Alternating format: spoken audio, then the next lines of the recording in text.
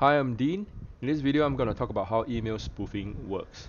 Now, what is email spoofing?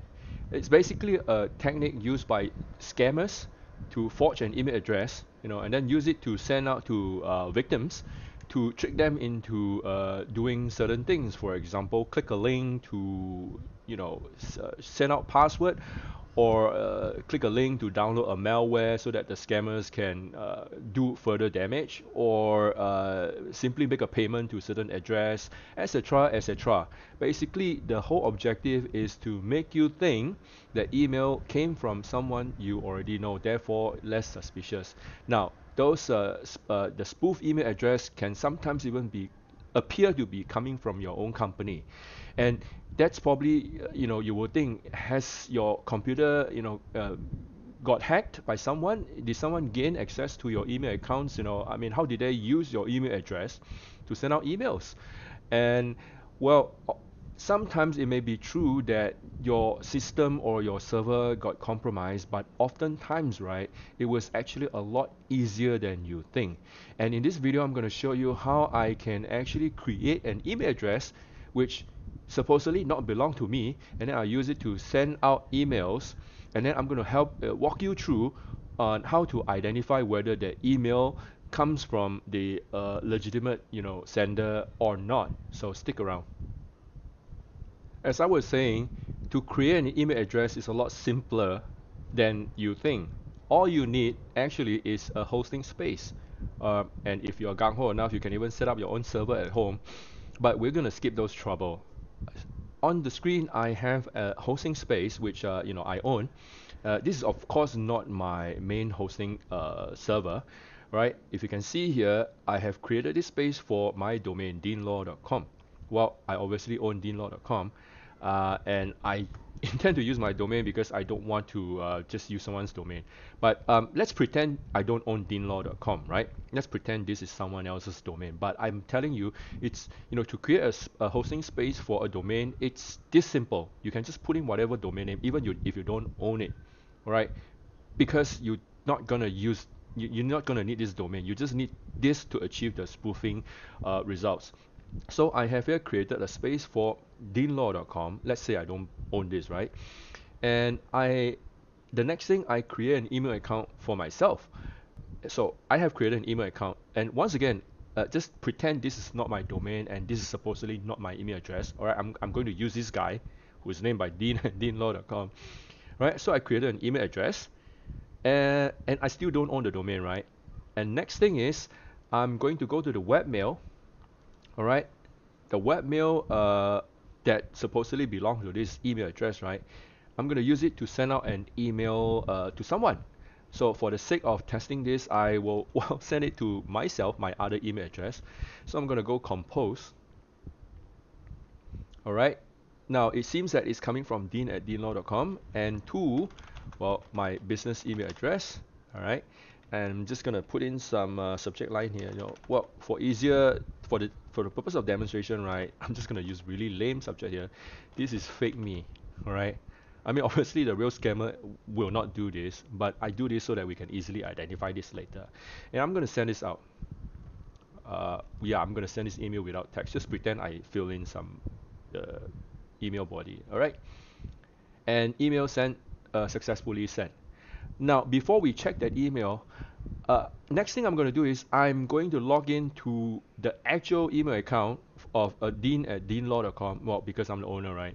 But let's pretend I don't own it, right? So I'm going to log into that account and I'm going to use it to send out you know email to the same email address and then we are going to compare that two emails all right because this is exactly how I want to show you the differences okay so let me drag that window over as you can see here, I'm using Google Workspace for my deanloh.com.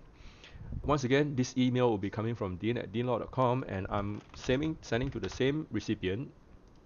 And this time around, I'm going to say this is real me with the signature. So I'm going to send it. Oops, I'm supposed to close this. So we're going to wait a few seconds for the email, uh, both the emails to arrive at my business account. I'm going to pause this for a second. Alright, on the screen here, I've got both emails open. Alright, one, this is fake me, the other one, this is real me. Uh, both appear to come from dean at deanloh.com, right? So, how can we tell which is real Dean and which is not real Dean? Now, uh, I'm in this example, since I'll be I'm using Google Workspace, right? This method works for Google Workspace, and if you're using other email services or different email applications, email apps, then the the method slightly different. But you um, you probably want to refer to the user guide on how to you know check information. The keyword here to look for is check email header. All right. Uh, in Google Workspace, to do that, we come we click these triple dots on the the uh, side here, we look for show original, All right, Uh, Google they don't use this e word, uh, they don't use the word email header, but it says show original. So I'm going to open that, and I'm going to drag it to the screen here. So we've got this uh, the email header uh, open, and let's examine this uh, you know this email to find out whether this email is real or fake. Now, um, the first few uh, tell uh, telltale right is immediately here immediately here you will see uh, under these two rows right it, it says here soft fail and fail uh, basically the email server they uh, compare this email uh, with a central um, domain name server it's called DNS right? And to confirm uh, whether this email is indeed sent from who it claimed it was. And upon check the, the server can immediately tell this is not you know it's supposed to uh, be fake email. So it failed SPF and it failed DMARC check but don't worry about all this technicality. Uh, what I want you to start looking right is uh, use a search function look for receive. Alright so we highlighted the receive here. Oh sorry I should have okay receive. So we just got to uh, pay attention at these lines. Uh, first few, they are, you know, how, I mean, basically what it say, what the information show here is where this email had traveled, all right? Now, the act of sending email basically, you know, when you hit the send button, your email sent out from your computer to the router, the router send through your internet service provider, your internet service provider uh, look for the the addressee, you know, send to the respective server. In between, right, it, it would have routed many, many servers, all right? So this is uh, the information here is going to cover that how you know uh, how many routes or how many loops this email has traveled. But we don't need to know all those things. We just need to look at a few key information. So I'm going to skip the first two. Now, this is something interesting now. Uh, this part, right, it says that this email came through this server called StackMail. So this is the part, right? Pretend that, uh, pretend I don't know this domain, right? Uh, and I received this email from this someone that sent the email through StackMail. This is the part I want to ask myself. Uh, is this person Dean Loh? Well, he claims Dean Loh, right? Is he does he use StackMail, right? Now, uh, if this is first email, then it's hard for me to tell. But let's say if I had been receiving email from Dean in the past, I can actually open up the old emails, which I'm pretty sure it was from him, uh, check the header, you know, show original, then compare uh, the past email was it from the same server as well, right? Or um, let's say in this case I'm still not sure, right? So I look at a few more. So it say it passed through Google. Well, obviously this this email was routed to Google server because um, it arrived at the my uh, email server that runs on Google, right?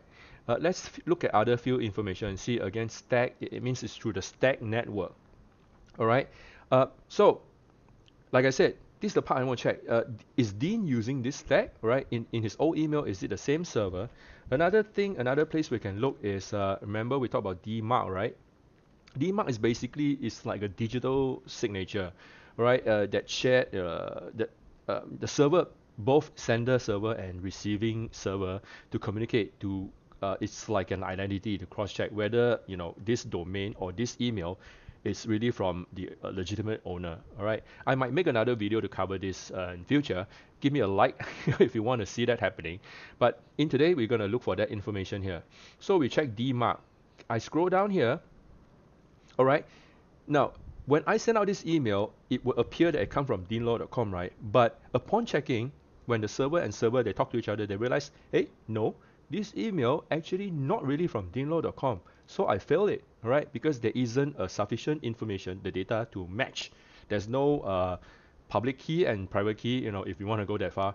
Uh, basically, the keys don't match. Therefore, it gave me a fail here. And once again, there's another fail here. So this would be a very uh, red flag already, I say, all right? So um, this is the part that I may, I can more or less conclude this email is not really from Dean, right? But of course, uh, they can be fail-safe at time because how, how, about if Dean Dean happens to be traveling, he's in uh, I don't know internet cafe somewhere. Uh, is there is is those are those things uh, places still exist these days?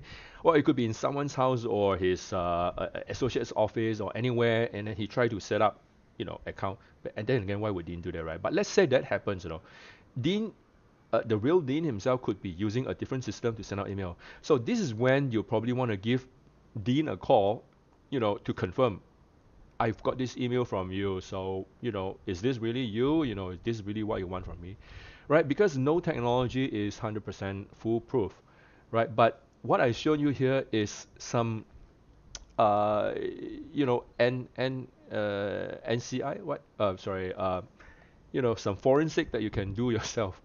Uh, now, um, before wasting more time, how about go back to the real email, right? That's from uh, well from Dean that I sent out from my own uh, actual account.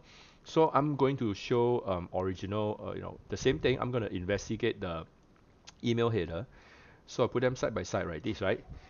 On the right side, we are looking at the real domain, the real sender and immediately you can see it already passes few areas. So we talk about SPF, D, uh, DMARC, and one more DKIM, uh, DKIM, you know, digital key, right? Uh, now, this is also because I have already done what was necessary to uh, um, basically to verify my domain. Okay, um, now bear in mind, not every domain name owner uh, were, were aware that they needed to do this. All right, even from um, corporate companies, right? So um, I wouldn't, you know, hold this uh, 100%, but like I said, there are companies who actually even miss this part, right? But from here, right, you can see my deanloh.com, uh, this email uh, pass, uh, passes SPF, it passes DKIM, uh, and passes DMARC, okay? Because this email really sent through uh, the authorized sender, which in this case is the Google server, right? And just now we looked at the receive, right? So I'm going to search for receive. Okay, ignore these first two lines. These are all the the routing and uh, all right. See, so this part is uh, you know it's becoming more useful. This email was delivered through Google. So um, like I said, if I compare to older email, uh, which I knew it was confirmed from Dean, right? And I'm from there I can tell Dean actually uses Google, right? And this email happens to be delivered from Google, so I can pretty much say, okay, this is correct, all right? Once again, it's Google. Google, uh, okay, we can ignore this. Now, the next thing we check on is DMARC, right? Once again, look at DMARC. So DMARC passes, all right? It passed.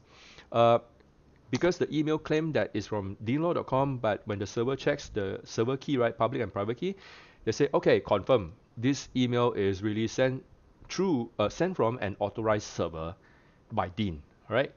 Uh, once again, we have a pass here. And you see, I have a DKIM, right? Uh, uh, so I'm going to show you that. Here don't have because obviously don't have spool, but here we have it. So signature here, it says, uh, okay, we're going to read this two line. All right, we have the domain here. This, all this information, right, just this few information, it's already enough to say that now this email is quite likely from the real person himself. But once again, you know, like everything else, uh, we cannot just, you know, uh, uh, you know, based on this few information, although it says that this is real, there could be still chances, right, that someone actually managed to hack into my account and you know literally use my account on Google to send out the email. So uh, at the end of the day, right, I would still say, uh, you know, use your gut feeling, or even you know just give the person a call if in doubt, right? What I've shown you here, it's more like uh, oh CSI that's the word I'm trying to you know it's, it's some DIY CSI that you can do right do yourself CSI but if it's something really critical and important right um, I would still recommend you know if you feel that you know you, you have that you know uh, you don't you feel undressed about it, right? Then pick up the phone and call the person to confirm it, because no, like I said, no technology is 100% foolproof, right? Even the best, uh, you know, things like this can happen to the best. Yep. So this is about it. Um, what I have uh, basically I've explained what email spoofing is, how it works, how people can easily create an email address without the need to even own that domain, right? And um, how they can use it to send out uh, send emails to people and trick them into doing things. And uh, lastly, how you can do your own uh, CSI to go through to check through whether the email is uh, real, real or fake, you know. And uh, thank you for your time. I hope this information is useful for you. I try not to keep it really technical because if I want to, this video is gonna take about two hours. All right, but there are lots a lot can be covered actually. Like for example, I shown you SPF, DKIM, and uh, DMARC, right? And exactly what they are, you know, how they work. I'm I would be really happy to share them with you. Um, so let me know either either in a comment or give me a like right or subscribe to my channel give me some encouragement a bit tell me that you like this kind of content then i will have good reason or excuse to make videos like this and you know share my knowledge with everyone. I hope you find this video uh, uh video useful and i look forward to see you again in next video if there's any. All right see you. Cheers